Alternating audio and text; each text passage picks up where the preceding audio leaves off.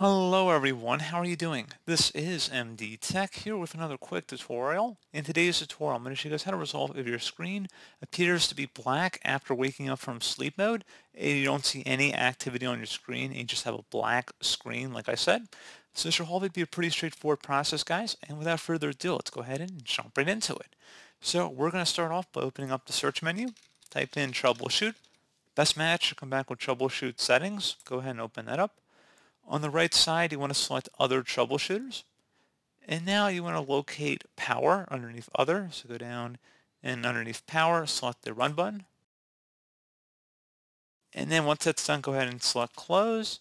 Would suggest closing out of here and open up the search menu. Type in Control Panel. Best match, come back with Control Panel. So go ahead and open that up. Set your view by to large icons, and then you want to select Power Options.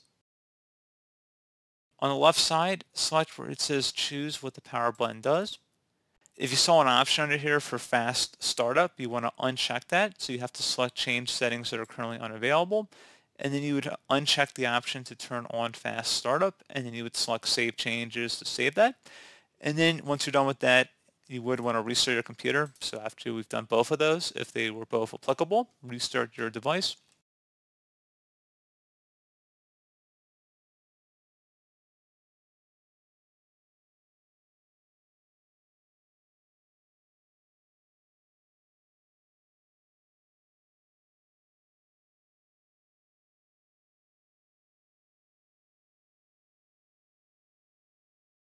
And there you go guys, hopefully at this point your issue should have been resolved. So as always, thank you for watching this brief tutorial. Do hope I was able to help you out, and I do look forward to catching you all in the next tutorial. Goodbye.